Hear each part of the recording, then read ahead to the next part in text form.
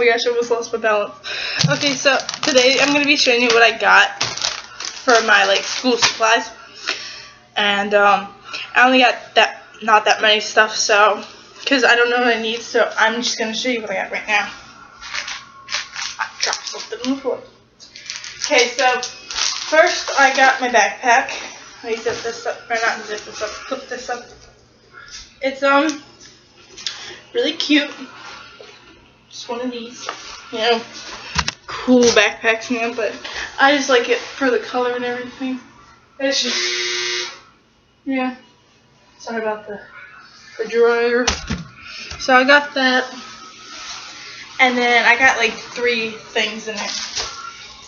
So I got, um, as y'all know, if you don't know now, I don't know if I told you guys, but I love Hello Kitty.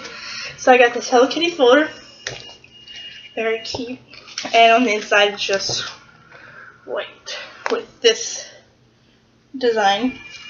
Um, I got all this my school supplies right now from Target. So if you want to go get this stuff and be like me, go to Target. Okay, so after that, I got two things of this paper. Two of these, which each comes with a hundred sheets. It's by Up and Up, as you can see. And it was about two dollars. And so it was four dollars altogether because it was no tax day today. So and it comes with yeah, again, as I said, hundred sheets each. So that's two hundred. And my last thing I got were these pens. I just got some pens because, I don't know, so getting some pens. But go to Target if you want these, or anywhere really. So, um, that's all I got. That's was a really short video.